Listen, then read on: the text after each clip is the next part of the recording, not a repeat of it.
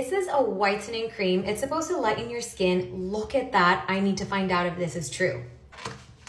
It looks unrealistic to me, but you never know. This is the whitest cream I've ever seen. I'm gonna try it on one arm and then compare. Also, I'm going out tonight to a birthday dinner, so I hope I can easily remove this.